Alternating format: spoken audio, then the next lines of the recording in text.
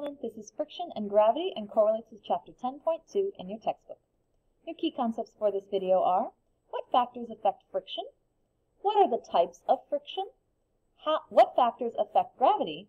And what is the difference between mass and weight? So, what factors affect friction? If I asked you to give me an example of friction, most of you would go and rub your hands together.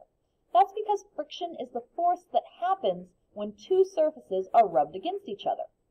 Now friction always opposes motion. It goes in the opposite direction of motion. So in our cartoon here, this gentleman is pushing the other gentleman forward. But there's friction between his feet pushing back, which makes it a little bit harder for our gentleman to push him forward because it's going in the opposite direction of where the motion's happening. Now, how hard it will be to shove something along and to overcome that friction depends on two things. One, the type of surface. So think about your shoes. Flat-soled slippers versus athletic shoes. Athletic shoes are much grippier. You don't slide as much. They have a higher friction. Versus flat-soled slippers will slide along very easily. They have lower friction. Or ice versus a track. Ice is very slidey, which is why it can be dangerous to drive on icy roads in the winter, which is why we throw sand down on it to make it a little bit higher friction to help reduce that sliding. Whereas tracks, where you want to really grip into the ground and run your fastest, they're very grippy. They have a high friction. The other thing that will affect the amount of friction is how hard the surfaces are pushed together. So think about this when you start driving, or you can even observe other people driving. When they slam on the brakes, you jerk forward really fast because the amount of friction is very sudden and it stops very quickly. Versus if you gradually go on the brakes, you'll slowly slow down and stop because the friction is less, so it changes the amount of motion slower. What types of frictions are there? There are four types of friction. One is rolling friction. This is anything involving wheels or balls rolling along, or you rolling down a hill, rolling friction. We've also got sliding friction. Think about you going down a slide or slipping on the ice. This is sliding friction. We also have fluid friction. Fluids, remember, means to flow or move, so they can be in gases or liquids. So planes, they have to consider their aerodynamics to see how they respond to the air resistance around them. And like fish or submarines or boats have to consider their hydrodynamics to reduce the amount of fluid friction they experience. And the last one, this tends to confuse people a little bit. This is called static friction. It's the amount of friction that holds things in place. So Charlie Brown and his gang sitting on the hill here, if this hill was a slide, they would all go whoop down the hill. But they're not. They're staying put like this phone is on the couch because there's a static friction that's holding things in place initially. Like when you go to first push something, there's that initial grippiness. Part of that is due to static friction. Let's talk about gravity.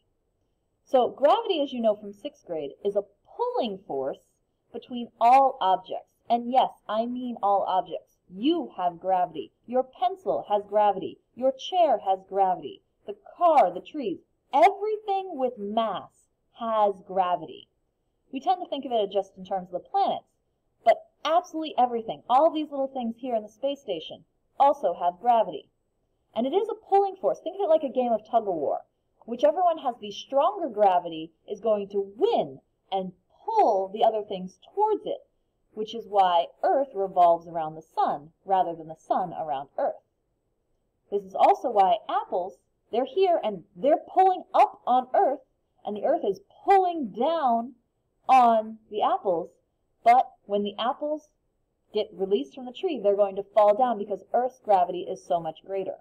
In fact, everything falls to Earth at the same speed. It falls with a speed acceleration of 9.81 meters per second squared. So if I drop two things, they're both going to accelerate down towards the ground at the same rate because Earth is pulling on them the exact same amount. There are two things that affect gravity. One is mass. This is why the sun is so much more massive than everything else. We revolve around the sun. The other thing is distance. So Neptune here is much further from the sun than Mercury. Neptune feels less of the sun's gravity than Mercury does because it's further away. Last thing, what is the difference between mass and weight? Mass, as you know, is the amount of matter in an object, how much stuff it makes up. We measure it in kilograms as its SI unit, grams as its base unit. Whereas weight is the measure of the force of gravity on an object. So your weight, depending on the gravity you experience, can change, whereas your mass, unless you like lose a limb, will always stay the same. So let's pretend I have a teleporter. This is me, standing here on Earth.